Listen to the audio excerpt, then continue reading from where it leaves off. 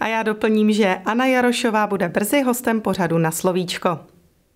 Růže mezi trním. Michaela Loubová je jedinou studentkou oboru automechanik na Bystřické střední škole a navíc úspěšnou. V krajské soutěži Automechanik junior brala bronz.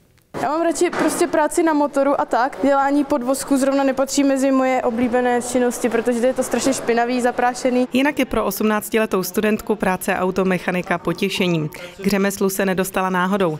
Velkou roli hrál vliv táty autoopraváře a nešťastná volba střední školy. Já jsem to chtěla dělat už hned po základce, ale všichni mě přemlouvali, to nedělám a tak, takže jsem šla prvně na zdravku, ale v druhém ročníku jsem zjistila, že už mě to nějak nebaví a že mě to nějak nenaplňuje. Momentálně je Míša jedinou ženou mezi 25 studenty oboru automechanik na Bystřické střední odborné a vyšší odborné škole. Víc si s ním rozumím, že máme podobné záliby, takže je to pro mě takový mnohem lepší. A nejen proto právě ona odjela 1. března reprezentovat školu na soutěž Autoopravář junior. Ta probíhá každoročně v Třebíči. Ona k tomu má prostě sklony, opravdu jí to jde, je šikovná, má takový logický uvažování a dokáže si prostě poradit. Jsme chtěli vyzkoušet, eh, jestli zvládne to, co, to, co umí předvést na dílně, tak předvést eh, v rámci soutěže. Cílem soutěže je prověřit znalosti a dovednosti studentů automobilních škol a učilišť v kraji. Přizování bylo také součástí soutěže, kde vlastně to bylo úplně stejné jako tady, akorát jiná přezouvačka.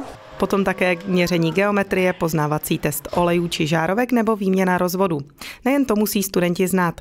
Důležitá je i schopnost pomocí diagnostiky odhalit a následně opravit závadu. Byla tam závada ve vyhřívání lambda sondy. První věc, co jsem dělala, že jsem si proměřila všechny pojistky, co vlastně byly. No a jedna byla špatná, jak jsem ji vyměnila a bylo to pořádku. Drobné problémy přišly až během měření emisí, které si nemají studenti na Bystřické škole možnost vyzkoušet. Když zná člověk teorie, tak v praxi už se nějak nestratí. Kromě praktických úkolů čekalo 8 budoucích automechaniků i 100 testových otázek. Ty prověřily hlavně teoretické znalosti. Tak asi největší problém jsem měla s palivovou soustavou a se vstřikováním, protože jsme to ve škole ještě neprobírali, takže to bylo jenom takový, že jsme se to naučili tak jako teoreticky předběžně. Nakonec mladá autoopravářka vybojovala celkově třetí místo. Mezi mechaniky skončila na stříbrné příčce.